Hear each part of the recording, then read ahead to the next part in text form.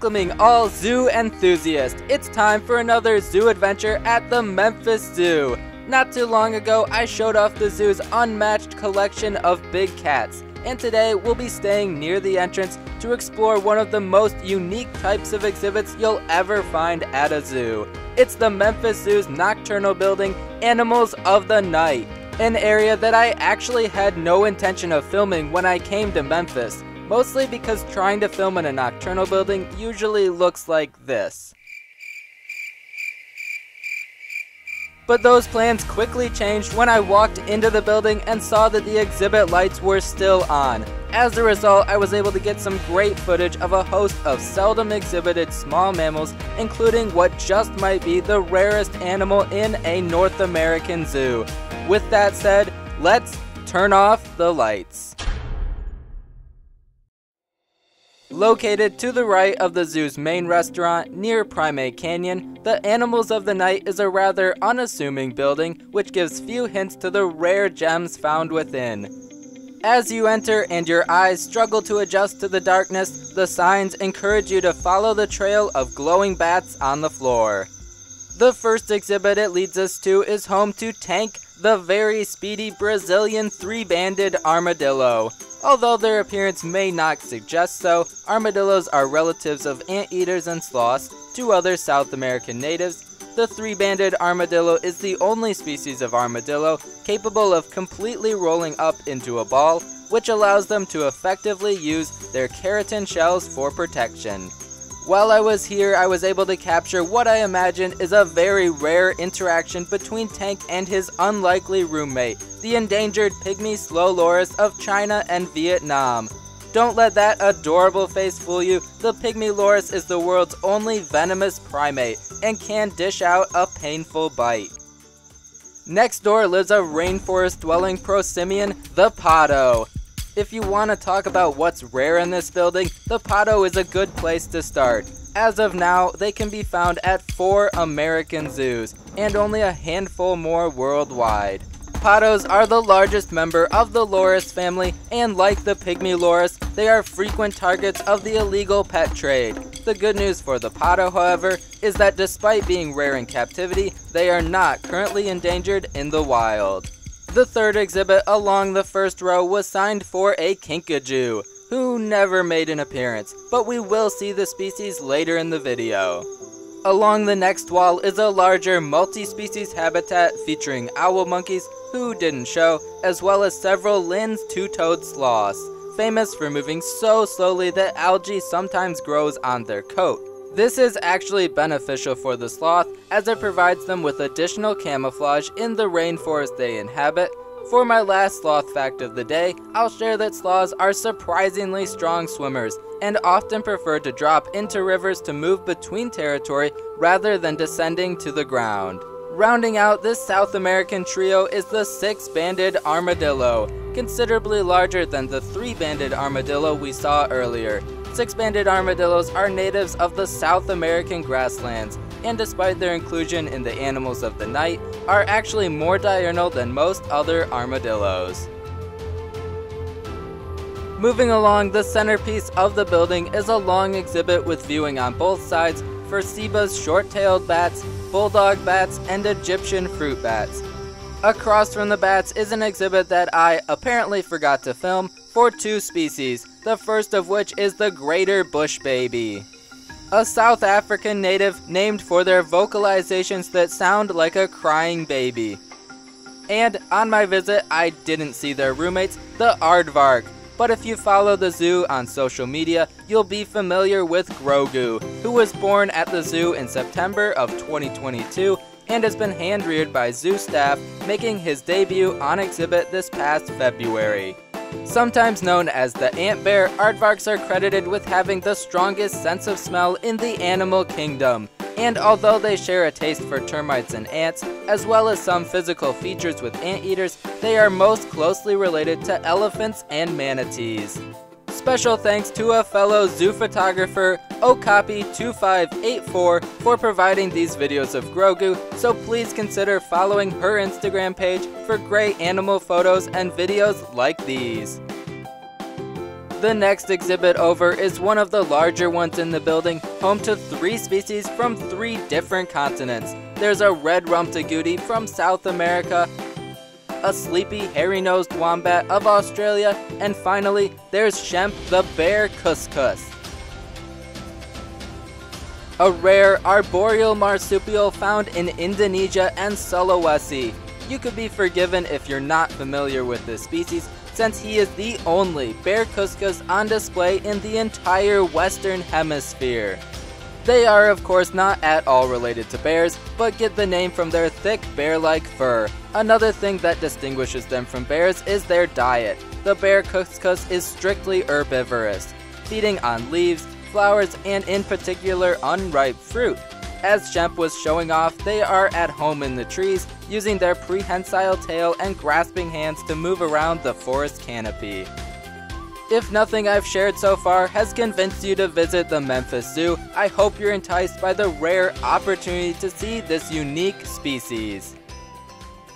Near the end of the bat exhibit is a glass tank for the specially adapted Texas blind salamander, built for an aquatic underground life. On the backside of this tank is another tank for blind cave fish, a tiny pigmentless predator found in the caverns and underground caves in Mexico and parts of the American Southwest. Next up, there's two smaller habitats for the large spotted genet. I didn't see any action in these exhibits, but we will see this species before the end of the video. The next, larger habitat contains the shaggy Southeast Asian native binturong. Binturongs are one of only two members of the order Carnivora to have a prehensile tail. Despite their inclusion in the order, their diet mostly consists of fruit, although they will supplement their diet with eggs, birds, fish, and will even hunt the occasional small mammal. From the tropics of Asia to the arid savanna of East Africa, with tunnels full of adorable naked mole rats. And continuing on, there's a cave-like habitat for vampire bats, in addition to flying, vampire bats can run and even hop along the ground in pursuit of prey. The next species didn't really show on my visit, but I'm still going to take the opportunity to talk about the African crested porcupine. Contrary to pop culture belief, porcupines don't shoot their quills, but instead, when threatened, they will turn their back and charge backwards towards the attacker. Crested porcupines form monogamous pairs, and young will stay with their parents for an extended time, creating a family group. So for today's fun porcupine fact of the day, a group of porcupines is called a prickle. In the next habitat over, on my second trip through the building, I was just able to make out a ringtail, a small member of the raccoon family found in arid regions of the western US and Mexico. Moving south, the exhibit next door contained a southern tamandua. These mini ant-eating machines use their large claws and 16-inch long tongues to attack the nest of both ants and termites. And they are even able to use their keen sense of smell to avoid ant species with better chemical defenses. Living on their other side is the building's second porcupine species, the prehensile-tailed porcupine. These are New World porcupines, which have a few key distinctions from Old World porcupines, like the crested porcupines we just saw. For one, Old World porcupines are terrestrial, while porcupines of the New World are at home in the trees. In addition, an Old World porcupine's quills are attached in clusters, while the New World porcupines have their quills attached singly amongst their hair, underfur, and bristles. In the middle of the room is a smaller exhibit for another ringtail who I didn't see. And as you can see, we've now wrapped around to the other side of the bat exhibit. And from this side, you can see it extends into a pocket-like cave. Opposite the bats is another of the building's larger habitats that I found to be much more lively on my second trip through the building. The exhibit's four species include the kinkajou, the other member of the order Carnivora to have a prehensile tail. I also saw another six-banded armadillo and another red-rumped agouti. Finally, through the darkness, I was just able to get a glimpse of an owl monkey. another rare zoo species that makes this building an absolute must-see.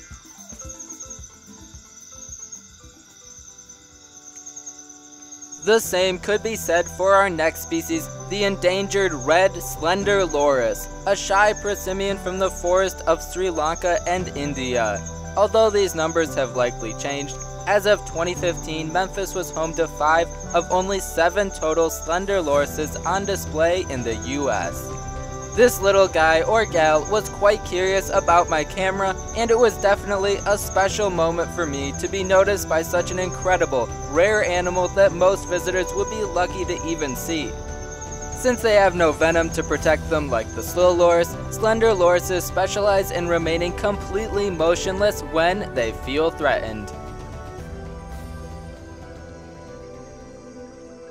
Our final new species in the building is the banded palm civet, yet another species that can only be found at a few other zoos in the country. The second to last exhibit in the building had another lesser anteater. Memphis's tamanduas include Mr. Wendell, who was apparently found roaming the streets of Houston. There's also his mate Winnie and their son Wicket, who was born in 2021. Like several other species on this tour, tamanduas are often victims of the exotic pet trade, but on the bright side, they're still relatively common in the wild. And finally, wrapping things up with the large spotted genet, one of at least seven species that are exhibited in multiple exhibits throughout the building. Close relatives of the civet, genets may somewhat resemble cats and are even known to hiss and purr like cats, however they are not felines and instead belong to a group of animals known as viverrids. Spotted genets are known to stalk and pounce on prey, sometimes leaping straight down from an overhanging tree branch onto their unsuspecting victim. And after that, you're cast back outside into the unforgiving sunlight. Thank you for joining me for our journey through the Memphis Zoo's Nocturnal House, a building where something unique lives behind every corner. Our next adventure in Memphis will be equally as special, as we'll be exploring the incredible theming and special star animals of China. To answer today's question of the day, comment below what is the rarest animal you've seen in a zoo. And now enjoy a short preview of the next exciting edition of Exhibit Tours.